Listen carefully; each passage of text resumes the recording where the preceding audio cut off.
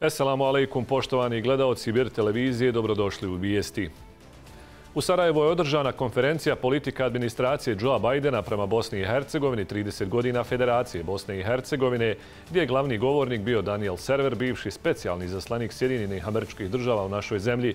Server smatra da 29 godina kasnije Sjedinjene države i Evropska unija nemaju snagu i interes da promjene Dejtonski sporazum, te da je razlog tome strah od novih nestabilnosti. Poručio je kako su Dodik i Vučić otkrili svoja prava lica, te da su ozbiljna prijetnja miru na Balkanu i u Bosni i Hercegovini. Bosansko-Hercegovačke hađije lagano pristižu u grad Božijeg poslanika Medinu. Prve grupe hađija su posjetile poslanikovu džamiju i revdu. Šef ljekarskog tima dr. Adem Zalihić kaže da je u skladu s planom usvojenim još i prije dolaska u Kraljevinu Saudijsku Arabiju odmah uspostavljena ambulanta i u Medini. Povratak prvih hađija iz Medine za Sarajevo planiran je za 25. juni. Prvu konferenciju posvećenoj prevenciji nasilja među djecom i mladima pod nazivom Prevkon 2024, a u organizaciju Univerziteta u Tuzli otvorio je ministar obrazovanja i nauke Tuzlanskog kantona Ahmed Omerović. Cilj dvodnevne konferencije je naglasiti važnost prevencije nasilja među djecom i mladima kroz razminu informacija i iskustava u predavanjima, praktičkim radionicama i okruglim stolovima. U Novom Travniku predstavljena je monografija Mladi muslimani, prvi tom autora Armina Džunuzovića.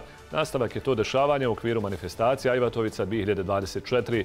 U okviru manifestacije Dani Ajvatovice u Međulisu Novi Travnik će biti realizovana tribina Hafiza Amara Bašića 26. juna.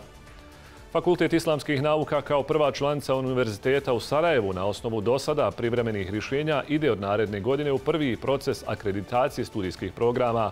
Ova akreditacija je dodeljena kao privremena u skladu sa mogućnošću koju je pružio okvirni zakon o visokom obrazovanju u Bosni i Hercegovini, a naredna suštinska akreditacija studijskih programa bit će provedena kroz procese samoevaluacije i eksterne evaluacije i detaljne provjere ispunjenosti desert kriterija propisanih državnim i evropskim standardima.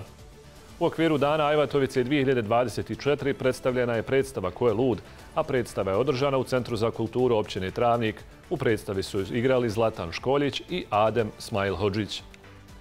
Nastavljaju se izraelski zločinački napadi na pojas Gaze. Vlada u pojasu Gaze saopćila je da su izraelskim napadima od 7. oktobra prošle godine u opkoljenoj palestinskoj enklavi ubijena 152 novinara. Ministarstvo zdravstva u Gazi je u četvrtak navelo da je u izraelskim napadima na pojas Gaze od 7. oktobra ubijen 37.431 palestinac, uključujući najmene 15.517 djece i 10.279 žena. Toliko u vijestima opširnije u dnevniku televizije BIR. Esselamu alaikum.